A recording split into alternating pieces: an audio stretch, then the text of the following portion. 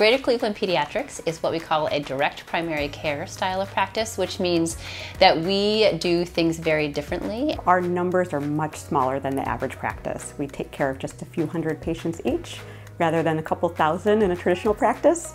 And so just, you know, alone on sheer numbers, that means that we can really think about our patients. We have time to care for them. We have time to spend with them. They have direct contact to us as their doctors. They have our cell phone numbers and our emails and it's just so much more of a personal relationship. We are able to be there for our patients, you know, day and night whenever they need anything.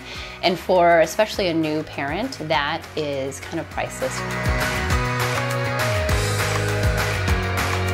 I think what parents realize the most when they come in is how quiet and calm and it almost feels like home. It's decorated a little bit differently than a traditional office and most importantly it's set up both for the patients, so there's lots of toys for patients, there's coloring books, lots of things for them to do, but it's also set up for parents.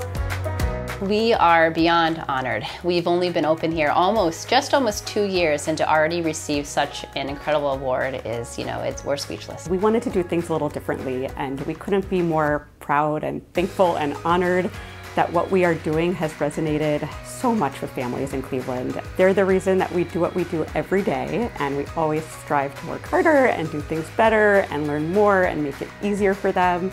And we are just so thankful to have them as part of our practice.